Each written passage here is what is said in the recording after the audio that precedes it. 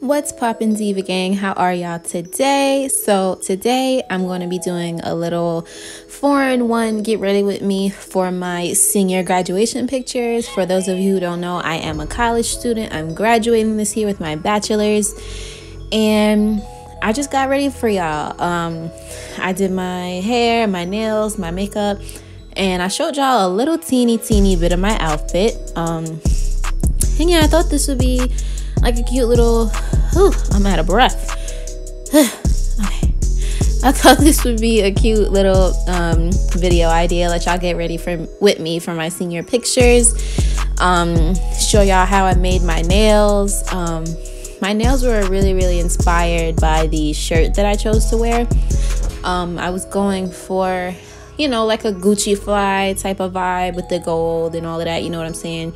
Y'all will see that a little bit later, but I decided to go ahead and add these two videos together because um, it didn't take me too too long to make the nails and I didn't think it'd be too long for y'all to watch right I mean I do have longer nail tutorials in this video so hopefully you all enjoy this content but let's talk about what I'm doing here I'm going for some extra long ballerina nails for this look um yeah, I don't know. I just I was feeling the long ballerina vibe.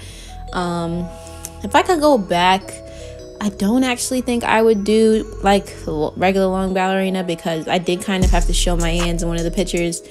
Um, so yeah, I'm probably not going to be able to insert my my pictures in this video because they probably won't come out yet. Like they probably won't be out by the time I publish this video but I will be um, posting them on my Instagram and also um, one of them will probably be in the thumbnail of this video but let me just catch y'all up real quick. So like i said we're going with extra long coffin nails today. Y'all have seen me use these plenty of times.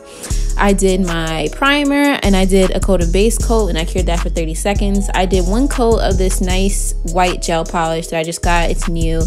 Y'all know i stay running out of my white gel polish so i did one coat of that right? But then I did one coat of this milky white gel polish because I'm going for like a baby boomer ombre type of look. So yes, we're going to be airbrushing. Um, yeah, I'm going for like a baby boomer ombre look. And I wanted the tip. It's, so it's going to be like a baby boomer French and I wanted the tip to not really be so stark white. I wanted it to be more of like a marshmallow. Like I didn't want it to be real milky looking either. I want it to be like a nice marshmallow. So that's why I was like one coat of white, one coat of milky white. And looking back on it, it probably really didn't do anything, but in my head it did. So that's what I did. And then um what you see me doing here is applying one coat of foil gel to um nail art foil gel to the thumb and ring fingers because um, these are going to be my designer print ombre nails. So I'm just doing um, just one coat of that and then I'm curing it for 60 seconds, a whole 60 seconds, okay? And this is the designer foil that I'm going to be using. Going back, I really only had to paint half the nail because we're just doing the tip. We're only putting this foil on the tip. And look at this stupid nonsense I did, y'all. I put the wrong side of the freaking foil on the nail. And then I was like, what the fuck? So I had to flip it over. And um, I fixed it. And, um, you know, I got it right. I got right. I got together. And that's um, what we're working with so far. Um, so I only took this down halfway because I wanted it to be like a baby boomer designer. Have you ever seen maybe on Instagram or maybe even on here? They're doing like ombre nails, but like something on the tip. I feel like I did something like this in another one of my videos, but it's not coming to Oh, for my Easter nails, I did like a marble ombre French tip type situation. Same concept, different strategy. Um, so yeah, that's just what you see me doing here. Um, and this foil glue is pretty good. This is the Beetles foil glue. And I've had this for almost a year now. I've had it since I started my press on nail business in August, and my it came like two in a pack, and the bottles are still pretty full. So if you're thinking about getting that um, off of Amazon, you definitely should because it'll last you a super super long time. Um, obviously, depending on how much you do foil, but it's lasted me a really really long time. Um, so now y'all can see me airbrushing. Um, I'm using this kind of nudie color as my nail bed color and this is just a method that I do so that I can airbrush all the nails at the same time. I poke a hole in the paper towel and then I just put the whole nail stand through the hole and it saves me so much time. Um, one thing I used to really, really hate about airbrushing and that would aggravate me so much about airbrushing was having to take the nails out one at a time and airbrush them one at a time. Like, I really, really hated having to do that. Um, two of these nails get did get messed up though, so I had to take them out and do them by themselves. But um, I just found that method to be a lot easier for me. Um, also, it helped me kind of make the blends more even. I would notice when I would do them one at a time with the paper towel. If you look at maybe a few of my older videos, you'll probably see me doing um, airbrush one nail at a time. And um, when I would do that, sometimes the blend would not be even on all the nails, but for the most part, when I do it this way, the blends all come out pretty even. So if you're struggling with airbrushing, give that a try and let me know what you think. But this is how the blend is coming out so far. I was um, starting to be really happy with the way that this was coming out. I was really liking it. Um, it was coming together, you know, the vision. Um, I'm using these Gucci stickers and I'm only taking I think I used like two of these just on the middle fingernails because with this set I really didn't want to do too much you know? Um, I still wanted them to be extra. I still wanted them to look like I put a lot of effort into them. But you know for my grad photos I really wanted just something cute especially like when I'm putting a whole look together like I'm doing my hair I'm doing my nails I'm doing my makeup and I'm wearing like a kind of flashy, a little bit out there kind of outfit. I like to keep my nails cute, you know, in your face, but still a little bit more like, uh, you know, a little bit more on the classy side. So that's what I was going for here. I hope that's what came through. But we did add a little bit of bling. Yes, girl, we added a little bit of bling. Okay, I almost got real carried away. Um, I almost put more bling on that pinky finger. I almost did it, girl. I almost did it, but I didn't. I was like, no, not gonna do too much this time. I think I said this in one of my older, older, older videos. Um, that Femi Beauty, y'all know I love her. I'm always talking about her on this channel. Um, she said that she's never regretted doing too much on her nails, and I'm just like, girl, I can't relate because sometimes I'll be doing the most. But that was basically what I did with the nails. I just top coated them, cured for 60 seconds, and um, shaped them up a little and cleaned them off with alcohol. Now we're going in for the makeup, honey bunny. Yes, we're about to beat that face. We're about to beat that face. And um, I went in with my Milk Hydro Grip Primer. It's my favorite primer. Y'all, I really, to be honest with y'all, I don't buy a lot of new makeup these days. Makeup is not, I love makeup. I love makeup. I'm like the Kim Kardashian in my family. I hate saying that. It sounds so cringy, but I mean, it's kind of true. But I don't buy a lot of makeup, so I may post some more makeup tutorials soon. And if y'all see me using a lot of the same stuff, it's because I use all the same stuff. Like, I want to get new makeup. I just, I don't know. I'm not really that immersed in the makeup world like that, so I don't really know what's good anymore. I kind of just use what I'm comfortable with, what works for me. So, yeah, I went in with my Milk Hydro Grip Primer, my um, Juvia's Place matte foundation in the shade Casanova, I think. Casablanca. I'm sorry, not Casanova, Casablanca.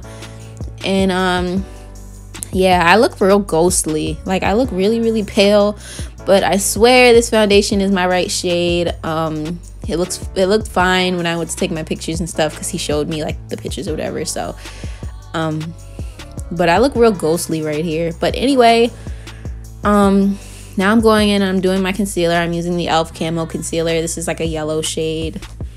And if y'all want to know the shades and stuff, this stuff, let me know it just be kind of hard when I'm doing these voiceovers to go back and figure out everything that I used. But if y'all really want to know, I could do that. I'm just being lazy. But anyway, um, now I'm going in with this lighter concealer over that. Um, this is maybe like two shades darker than, I mean, lighter than that yellow concealer. It's more of a pale kind of shade. It's not really yellow, but it's not really like pink or cool tone either. It's just kind of pale. And I just went in with a little bit of that, y'all. And I have to say, this day, my makeup actually came out really, really, really good. Um, uh, it was so frustrating because it was raining the day that I had to go and take my pictures. And I had to walk over to, you know, where they were photographing. And girl, I walked over there with my bonnet on. The wind was blowing. My umbrella was going everywhere. Like, and my eyes are real sensitive, so the wind was blowing my lashes. My eyes started tearing up, but thank God my makeup still looked pretty good.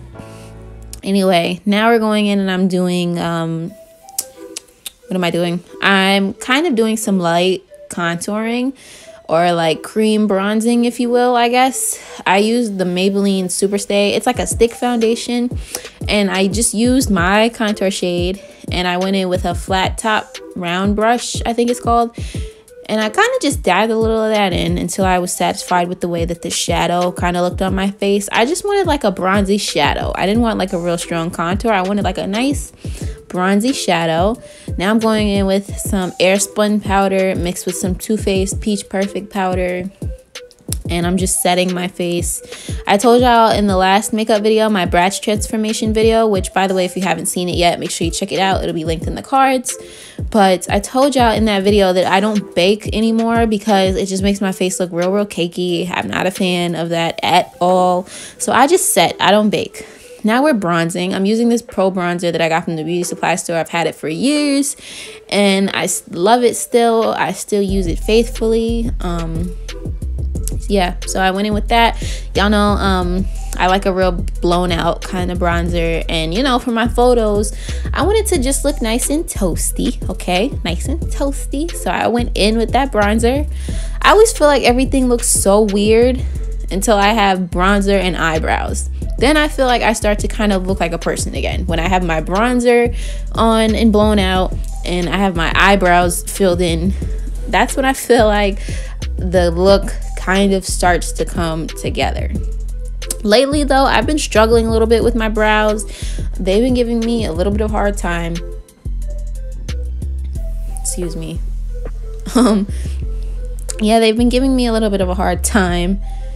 Um, I think it's because I don't groom them as often as I should.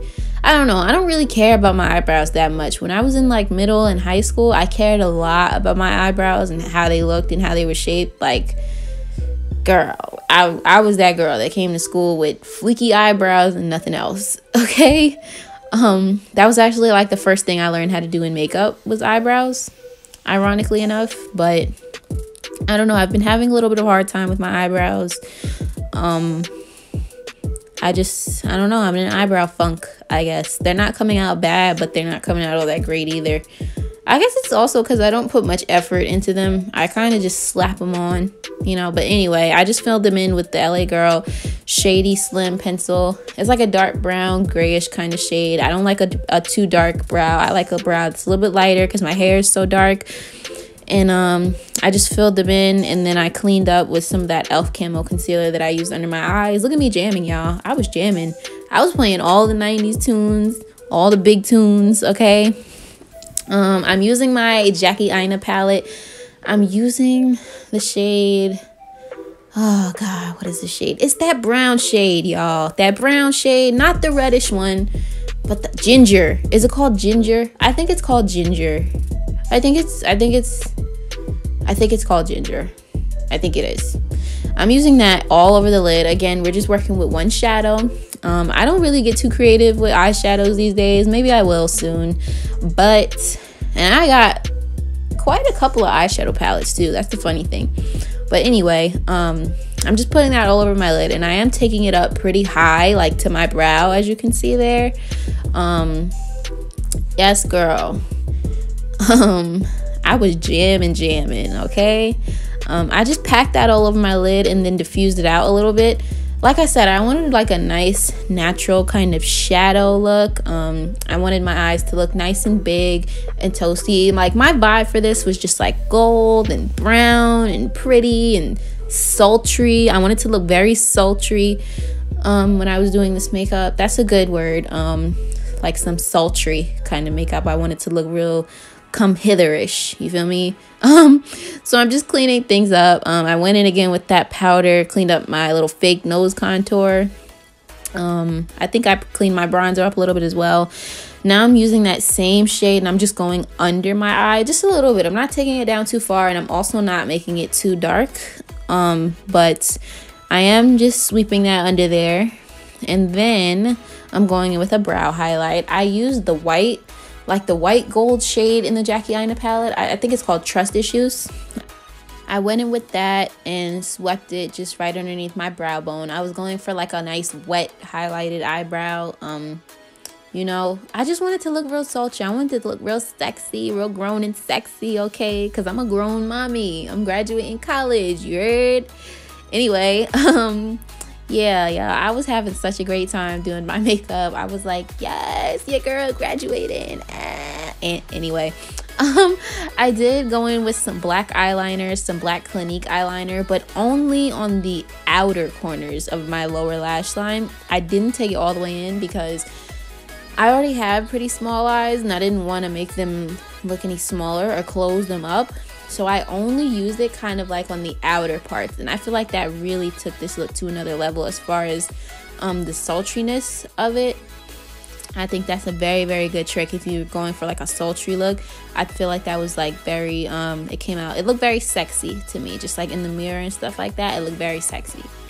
Um, so yeah, now I'm going with some mascara. This mascara is from Wet n Wild. Um, it's pretty good. I don't really care about mascara like that but this one is pretty good actually and I'm just prepping my natural lashes for my falsies, my strips that I'm going to be applying. And then I'm also going to run some of that mascara through my brows. Y'all saw me do this in my Bratz video too. And I like to do this for like that fluffy brow look. So yes, girl, I use mascara as brow gel, all right? That's just that on period. Just be careful when you're doing this. Don't put too much or you're to mess up your eyebrows, girlfriend. I've done that so many times. Anywho, um, I'm also putting some mascara on my lower lash line just because, again, you know, we're going for that sultry look. And this will actually help open up our eyes. Um, so I just went in and freshened up my bronzer a tad bit. And then I'm going with some blush. I'm using a Milani blush. I think it's in the shade Tea Rose. I think it's in the shade like Tea Rose. Um, it's just one of those blushes that they have that looks like a flower. And then I went in on the inner corners of my eyes. And y'all, what is that Fenty Beauty highlighter? That first, first Fenty Beauty highlighter. That gold, gold, gold highlighter. What is that called? Because that's what I used in my inner corners and it was a very good choice. But what the heck is it called? Anywho, um, I'm going in with this Anastasia highlighting palette. It's that brown one, and I use the gold shade from that palette. I can't remember what it's called at the moment, but I used that. Um, so these lashes, I was really happy with my lash choice that I made this day. I used um, chiffon. They're the Kiss like lash extension or lash pinup or lash something that they have in the shop in the style chiffon and um, I just took my hair down. This is my natural hair. I went ahead and, and just blow dried my hair with the Revlon um, blow dry brush. Shout out to Naturally Les here on YouTube. We go to school together, and um, she actually did a YouTube video where she used the Revlon um, blow dryer brush. I didn't follow her exact method, but she has a very detailed video on how to use that brush if you want to see it. And I have naturally curly hair. She has naturally curly hair, and that shit works, okay? If you're looking for like a nice brush to give you like that salon blowout at home washing set vibe, get that brush because it is amazing. Um, so on my lips, I use Anika K brown lip liner. I used a NYX soft matte lip cream in the shade you know, I can't remember, but it's like a nude pink. And then I went over top that with the Fenty gloss, the natural one. and this is pretty much how it's looking and um i had to pinch my lashes you know make them blend or whatever but make sure the glue is dry before you do this girl because then you're gonna pull your whole lash off you're gonna be mad and um this is pretty much the whole look came together that sweater that i had on i was gonna wear that because this shirt was making me a little self-conscious but i was like no girl we a bad bitch we about to get lit okay we got the patron on deck um yeah, thanks so much for watching the video. I hope you guys enjoy getting ready with me for my pictures. I will see you in the next one. Peace, Diva Gang. I'm too good for you, all right? Nah. What? What? Huh? I'm not talking to you. What do you want? Why you keep going in and out? I'm not talking to you.